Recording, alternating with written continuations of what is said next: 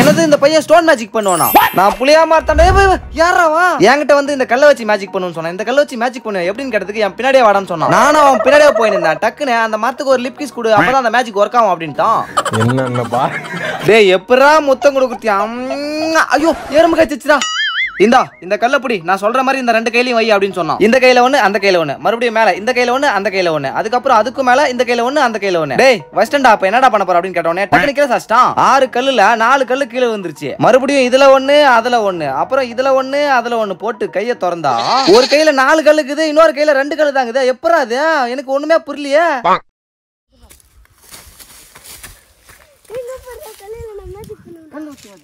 இது வச்சு நான் மேஜிக் பண்ணுவா? வா கட்டு. என்னடா இது? இந்த மரத்துக்கு முத்தம் கொடுமாடா முத்தத்தை குறா